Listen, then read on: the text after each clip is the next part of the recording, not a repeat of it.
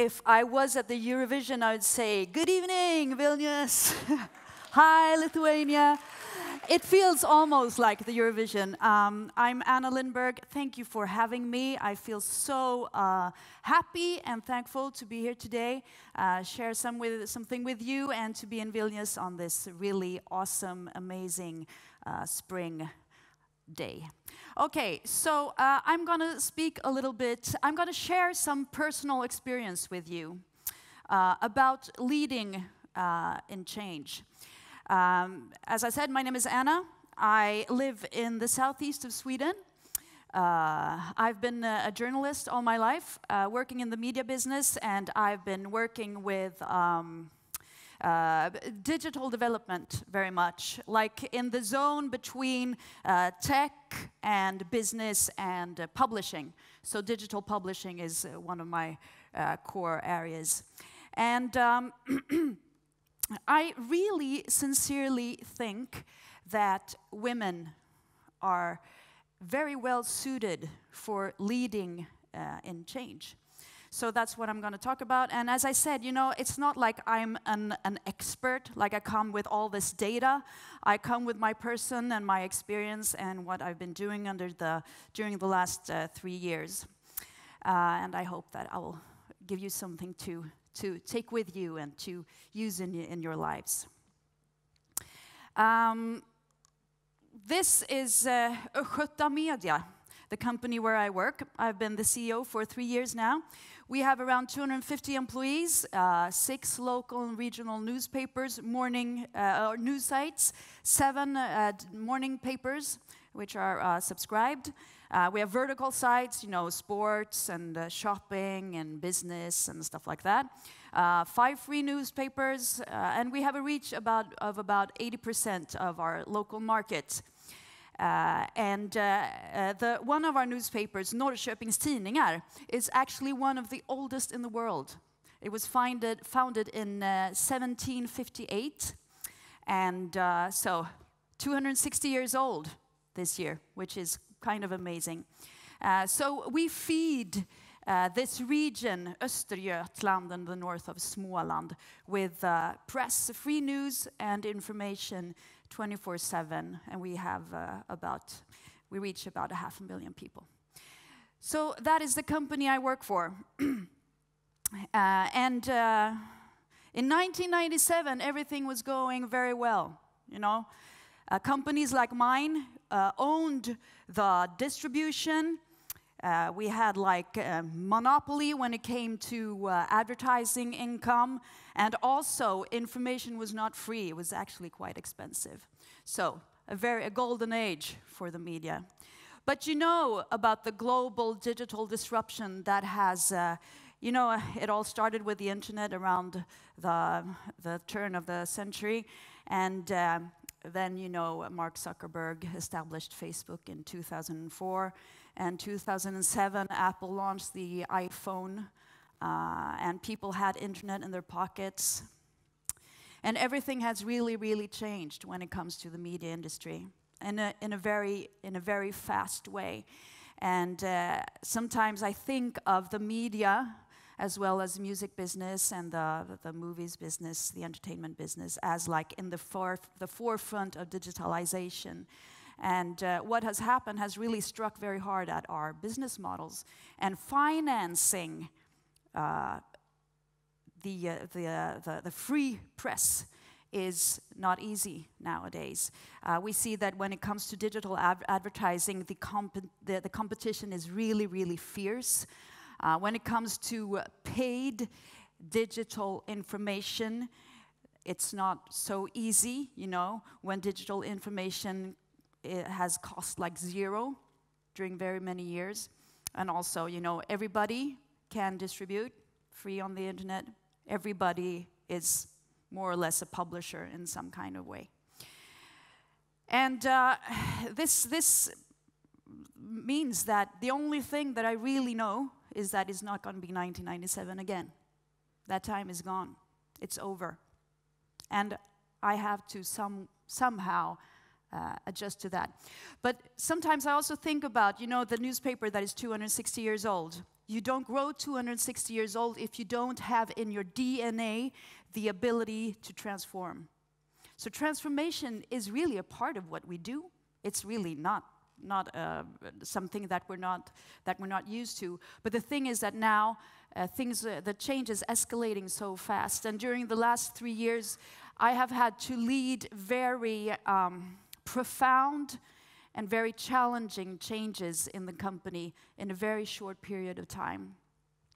And for me, it's very important to have my heart with me and to keep the inner me intact, even though my job requires me to, to uh, do some tough stuff now and then. You always have to bear your heart with, with you. And you know, when it comes to strategy, it's I believe that it's not very hard to, you know, to, to have a strategy and to put it down on paper or to you know make a PowerPoint and you speak with all your coworkers and everybody's happy. The hard part is to actually make change. And uh, when it comes to digital, you know, I've been working with digital transformation all my life, and I, I've realized that people like to talk digital when they come from a legacy business like ours, but it's much harder to work and live digital. Uh, and the digital ecosystem requires of business today, whether it's uh, media industry or any other industry, that you are transparent and that you're close to your customers and to your audience, uh, which is new for many of us. Uh, the newsroom used to be somewhere, you know, you could sit behind your desks and set the agenda and write whatever you want. Nowadays, with social media, you always have to be in tune with your audience and you also have to, to uh, have a transparency. And also, it's interesting, uh, you know, the, the old legacy business was, you know, morning paper at 6 a.m. every morning. Now it's 24 7. In 2011, I started a news agency in Sweden. Uh, and uh, the, the business idea was to uh, do news during nighttime.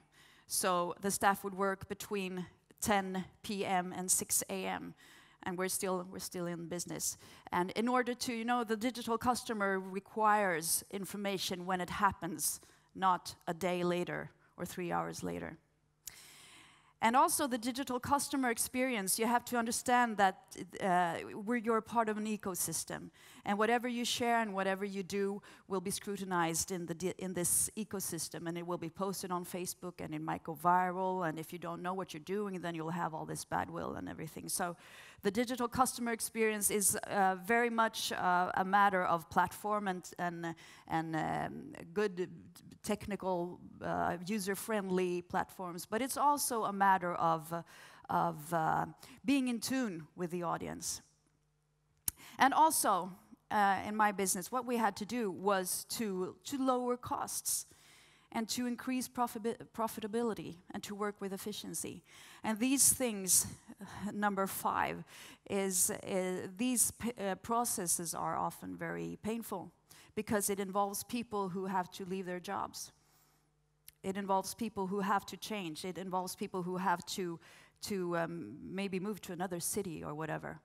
Uh, this has been my reality. So, all these things you have to do, and it's easy to put it on paper, it's harder to do in real life. Uh, about three years ago, I was uh, uh, in the US, and I now, now I'm going to talk about some things that I've learned and some things that I think that many female leaders have skills and that we can, we can uh, be very good leaders in the digital era. I was in the US and I visited Stanford University. This is a picture of Stanford University, you know, in California. And I was visiting uh, um, an education for design. And the thing was that uh, most of the students from this uh, design uh, uh, education, they went to Google and Facebook and the other great Silicon Valley uh, companies. And they had this very interesting concept that they called empathize. As a design student, you had to empathize with the user, to really, in your heart, understand what the user experience was like. And they told me that in 100% of the cases, they started out with this notion okay, now we're going to talk to the users, we're going to act like the users, we're going to try to understand the user's point of view. And in 100% of the cases, when they had uh, come a bit into the project, they started talking about, you know, uh, form and color and what they liked uh, and, and what they thought it would be best if, if it looked like. They lost the empathy along the way. You see? So it's very easy to fall back. It's very easy to, okay, I want to put myself in the place of the user, but it's very easy to fall back and to think, okay, what do I like? What do I need? What is important for me and my business? But I truly believe that being able to empathize with your customer or your audience is a key to success because that's what it's all about. And as a woman, I think many I, and I, I don't want to generalize too much because I truly believe that there are more differences between women than people might think. And there are more likeness between women and men than we might think. But there are still some things that we are brought up with and that are uh, into our culture. And I truly believe that empathy is something that many women are taught very early. And the ability to empathize with your, or, with your audience or your customer is, is, is a key. And uh, uh, when I've been working with this, I, I, I, have also experienced that this is, this is a bit ab abstract. It's much easier to empathize with the people who are, who are around you, your coworkers or the managers you work with. But when you truly empathize with the audience, that's when you create great content. That's when you create great products. That's when you meet the needs of your customers, and that's why they want to choose you, even in this competition, and that's why they want to come back. So, being able to empathize for real, I think that is a key. And uh, I think that many women have it in them, which is great. Another thing that I've been thinking a lot about is loyalty. Where is my loyalty as a leader when I have to lead change and transformation? I have cut the costs of my business with 30% in three years, which has been very, it has taken a lot of, of hard work and a lot of tough decisions. And where is my loyalty? Where does it belong? And it's a bit it's also about empathizing because I believe that if you want to lead change for real, if you really want to transform something profoundly, you have to be loyal to the vision, to the goal, to where you're going. And that is also a bit abstract. Like, hey, do I know where we're going? Do I have the goal? Well, then, if you don't, then you better put it down because that is so important if you're going to lead change. And uh, for me, it's been uh, sometimes a bit painful because I think many women are brought up in, we are very good at creating teams.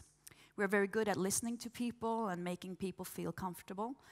And then when you come to a point that you have to take a decision that will actually affect these people's lives, it can be very hard and it's easy to fall back and to think that oh i don't want to go out on this limb i would i would rather you know be in my comfort zone uh, feel secure uh, but I also believe that, and I've also experienced that when, the, when, when you can explain the loyalty, you know, we have to go this way because it will never be 1997 again. If we don't transform, we will not survive. And when you explain that loyalty to your coworkers, eventually you'll gain trust. People will trust you, and people will say, you know what, I want to go with you. I'd like to go on this journey with you. So I, and of course, as a business leader, you always are loyal to the owners of the business, of course. But sometimes it's hard, you know, you have to, you have to really think about where is, where is my loyalty, where is my heart in this.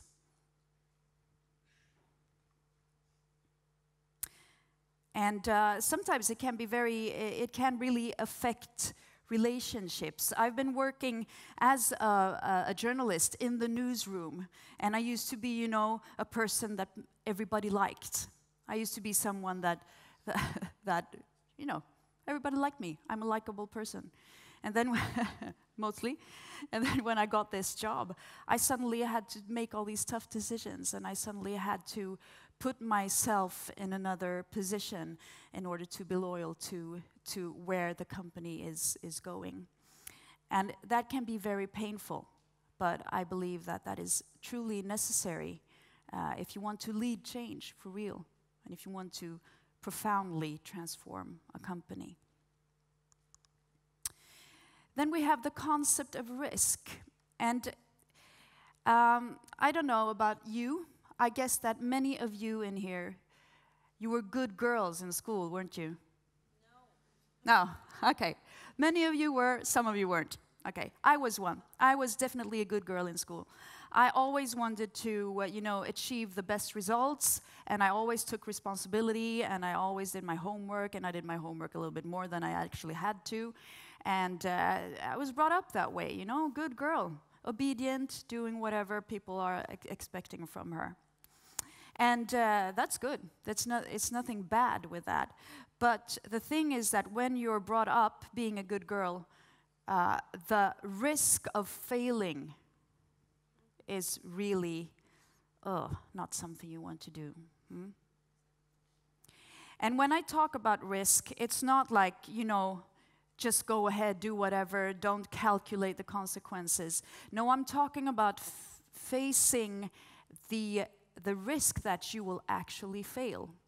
This spring, I've been uh, working with our sales department because we have to transform our sales department really uh, profoundly. And you know, transforming a sales department is taking a huge risk because if sales department don't work, income will decrease, yeah? But I, I just felt, you know, that if I'm not loyal to the vision, if I don't make these decisions, if I don't start really making an impact, we will slowly starve to death. That's the truth. We will slowly starve to death, or we have to transform. So, I started calculating the risks. Okay, if I go this way, what will happen? If I go that way, what will happen? And not only me, of course, I had a team around me, and we've been talking a lot about this. And then, you know, it, ca it came to me that the thing that was holding me back was not whether the bowl is bigger or not, because I know that the bowl is bigger. What was, what was uh, uh, prohibiting me was my own fear of failing. But the thing is, without failure, you will not learn, will you? So you have to, you have to take risks and fail in order to learn something. So, uh, and, and this is also, I think, a, a gender uh, issue where many, uh, we, we raise our boys to take risks and we raise our girl not to do it.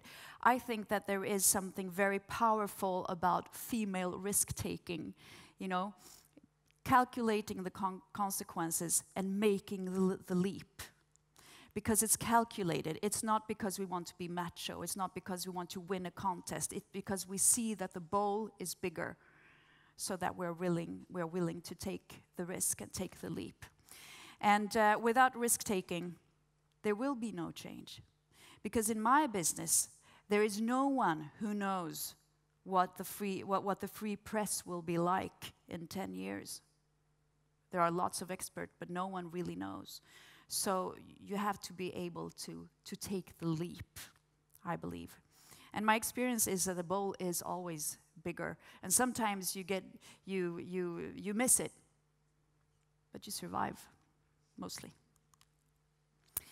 And then one another thing that, that I've been learning when it comes to leading uh, a big company through a transition is that uh, change for real, if you really want to make change, conflict will occur. And you know, Swedish people, we don't like conflict very much. We're not like the French or the, the Italians who can stand and, and yell in an, in an office. We don't do that. We like consent. We like when it's, you know, steady and people are very uh, mellow. so conflict when it comes to Swedish business tradition is, is not very much appreciated. It's not something that we really want to do, is my experience. But I believe that, you know, leading change for real will uh, evoke conflict. It will happen. And this is also something I've been thinking a lot about. One way is to avoid conflict, so you avoid change and you, you avoid doing all these things that, that you really have to do. Uh, or you see conflict as a possibility of connecting in a new way. And uh, for me, conflict is not, you know, like winning a contest. To me, conflict is uh, standing, being strong. This is my decision, and I, I stand for it, you know, and I have my arguments, and I'll talk to you anytime but I will also listen to you because maybe you have thought about something that I have not thought about. That possibility is very big. Uh, what can you give me that I have not thought about? And that is not about, you know, backing down from the, some principles that you have to stick to. It's about uh, not being prestigious because I don't believe that you can be a leader for change if you have a lot of prestige. Because if you have a lot of prestige, you will not be a good conflict handler. You will not want to take the risks because you won't want to fail, and you will definitely not empathize.